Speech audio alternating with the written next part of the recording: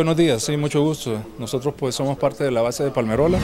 Eh, hacemos brigadas médicas en todo el país. Nuestra visita ahora es en preparación para una eh, brigada quirúrgica que se va a realizar aquí en el Hospital de San Marcos. Está siendo coordinado con la dirección del hospital, con el personal del hospital eh, a nivel regional y a nivel central, con la Secretaría de Salud. Es parte del plan de brigadas médicas que realizamos durante el año.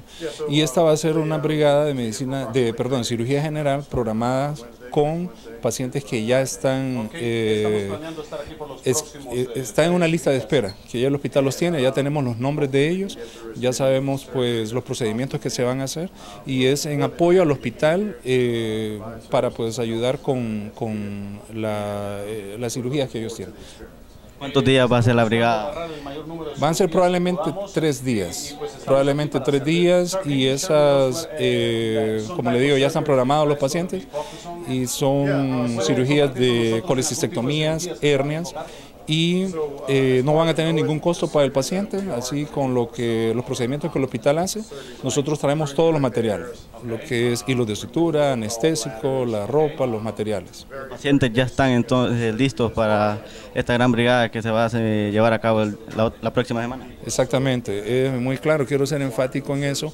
Eh, yo sé que cuando uno escucha que es una brigada médica, la gente pues se desplaza y dice es una brigada, pero los pacientes ya están, son pacientes del hospital que ya están eh, preclineados, ya están listos, ya están en su lista de espera y eh, no, no, no me gustaría crear expectativas de que gente se desplace desde lugares alejados para ser evaluados porque ese no es el propósito, eh, sino apoyar a los pacientes que ya están eh, en el proceso normal del hospital y nosotros pues respetamos el listado que ellos tengan. ¿Qué día de la próxima semana se va, a se va a desarrollar la brigada y a qué hora? Esperamos que sea miércoles, jueves y viernes.